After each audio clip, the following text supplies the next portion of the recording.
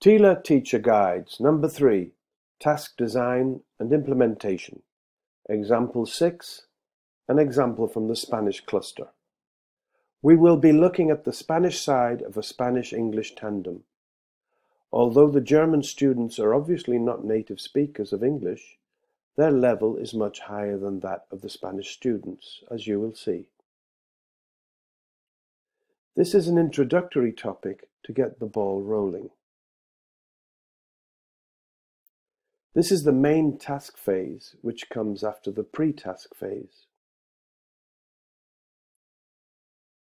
The students meet in a Big Blue Button classroom and start chatting together.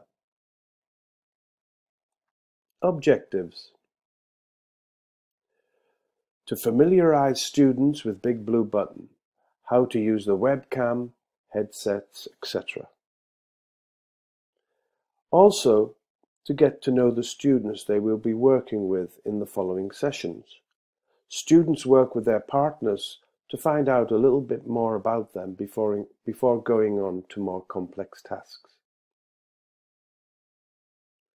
The students learn or practice greetings and goodbyes like the ones on the screen.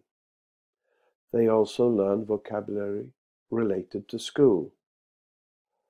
Finally, they learn vocabulary and structures on friends, free time, saying goodbye, etc.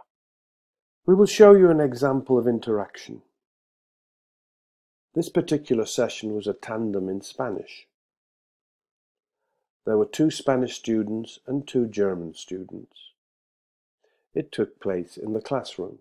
The excerpt shows the students doing the task that involves the topic conociéndonos, getting to know each other.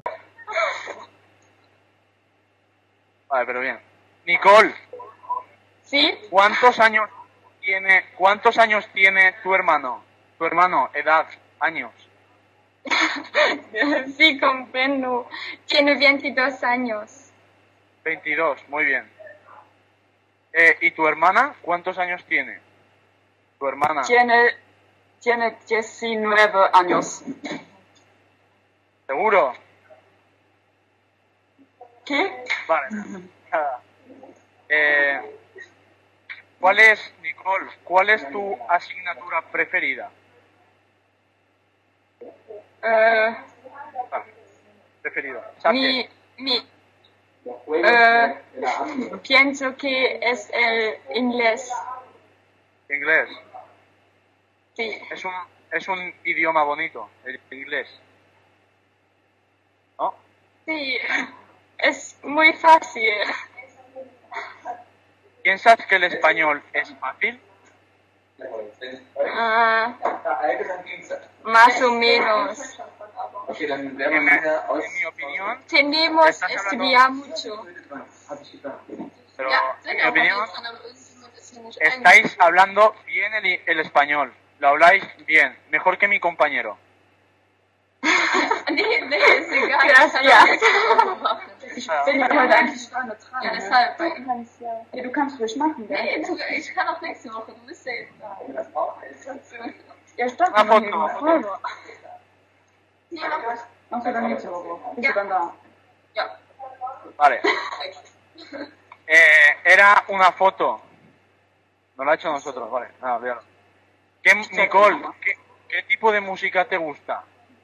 ¿Qué tipo de música te gusta?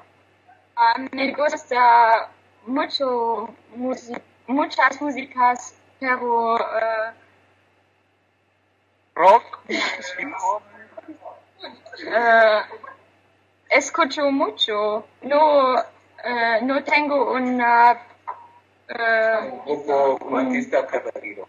Una culpa preferida. Vale, muy bien. Eh, no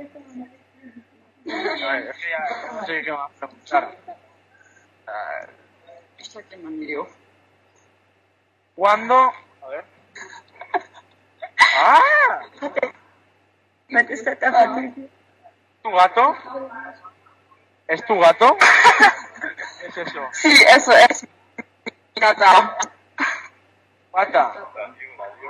¿Cómo se llama?